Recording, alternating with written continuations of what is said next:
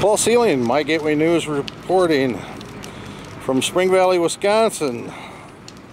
It is Saturday, June 20th, 2015, and we're at the site of the old Spring Valley Nursing Home, which is the site of fire training this, this uh, morning and afternoon. Uh, the Spring Valley Fire Department is hosting uh, the training with the uh, Chippewa Valley Technical College uh, fire training classes.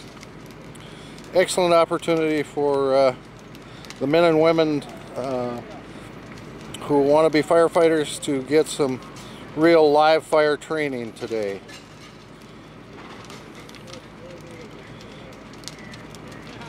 This is the second uh, training operation. This building was used uh, about a month ago for the same purposes when the east wing was uh, ignited and used for training and today the west wing is being used.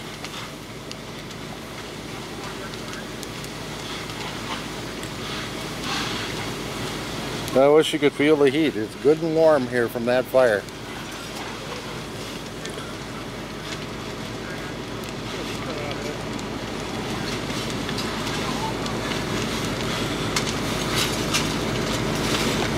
number of pieces of uh, firefighting equipment on site. Pumper units.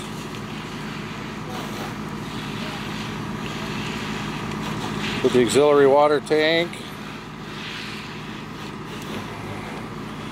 And then of course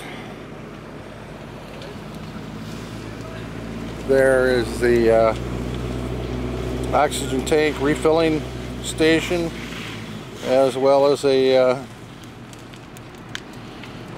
food and refreshment uh, trailer set up. We sure thank our firefighters for all the time and effort that they put in for training and for their quick response when the alarm goes off. Paul Seeling, My Gateway News reporting from Spring Valley, Wisconsin. Saturday, June 20, 2015. Site of the old Spring Valley Nursing Home which is used as a live fire training exercise today.